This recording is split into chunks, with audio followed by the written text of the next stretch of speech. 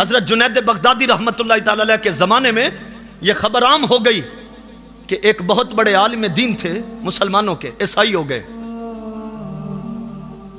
लोगों को बड़ी फ़िक्र लाक हुई कि इतने बड़े आलिम और वो ईसाई हो गए। उस वक्त के उलमा, उन्होंने कहा, चलें जाकर पूछते हैं कि किसी ईसाई के साथ मुनाजरा ना हुआ हो और हार कर उसका दीन कबूल कर लिया। आओ जाके पूछते हैं।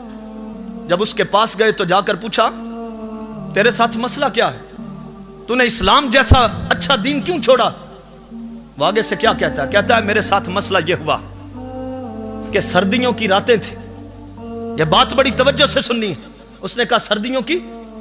एक ठंडी रात ईशा की नमाज़ के वक्त मैंने कुएँ से पानी के ठंडे ठंडे पानी से वज़ू किया और मैं आके मस्जिद के मुसल्ले पे खड़ा हो गया। लोगों ने तकबीर कह दी। तकबीर हो गई। वो कहता है, जैसे ही मैंने नमाज़ पढ़ाने के लिए हाथ ऐसे उठाए, तकबीर तहरीमा के लिए मेरा वज़ू खारिज हो गया। वो कहता है, पहले ही बड़ी मुश्किल से वज़ू किया था मैंने। सर्दी थी, फिर इतने सारे लोग मेरे पीछे खड़े थे। मैंने सोचा, ये कहीं मज़ाक ना बना ले मेरा। और फिर मुझे डर लगा कि इतनी ठंड में इतनी दूर जाऊँ, फिर वज़ू करके आऊँ। वो कहता बस एकदम हाथ उठाए हुए थे।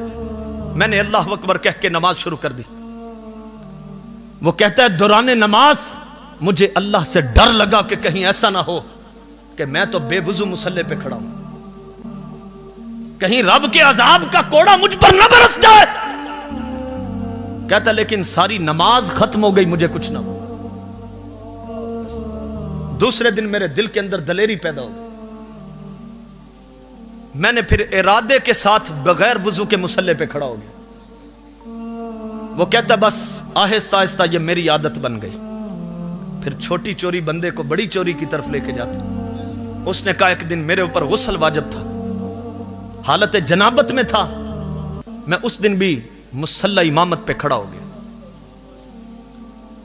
कहता है, जब उस दिन खड़ा हुआ तो उस दिन भी मेरा दिल डरने लगा कि पहले बेवजू था, आज तो बेगुसल हूँ। कहीं रब का अजाब अब ही ना आ जाए। वो कहता है, सारी नमाज़ में दिल डरता रहा, मगर कुछ ना हुआ।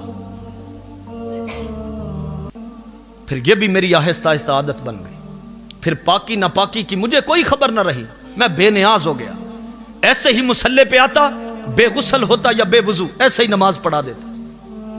कहता, एक दिन मेरे दिल के अंदर ख्याल पैदा हुआ कि अगर यह दीन सच्चा होता तो यकीनन मुझ पर अजाब आ जाता कि मैंने रसूलुल्लाह सल्लम के मुसल्ले की कितनी तोहीन की है।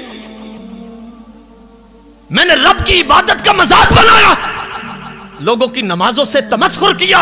अगर यह दीन सच्चा होता तो अल्लाह का अजाब आता मुझ पर कहता, लिहाजा मैंने ये सोचकर दीन छोड़ दिया, ये सच्चा दीन नहीं है। मैं ईसाई हो गया वो जो उलामा समझाने आए थे ना, उनमें से एक की चीख निकली। वो कहने लगे, ओ बेवकूफ़, तू अजाब किसको समझता है?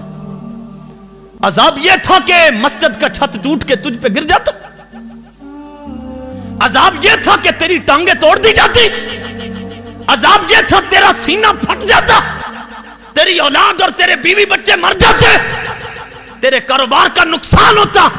तो इसको अजाब समझता है। और बेवकूफ़, तू समझ ही नहीं सकता। इससे बड़ा अजाब क्या हो सकता है कि उसने अपना दीन ही तुझसे छीन लिया? तू समझता मुझे हुआ कुछ नहीं, उसने तेरा छोड़ा ही कुछ नहीं। पानी परन सहेलियाँ ते रंगा रंग कड़े, ते परे उसदा ही जानिए फिर जिदा तोड़ चढ़े।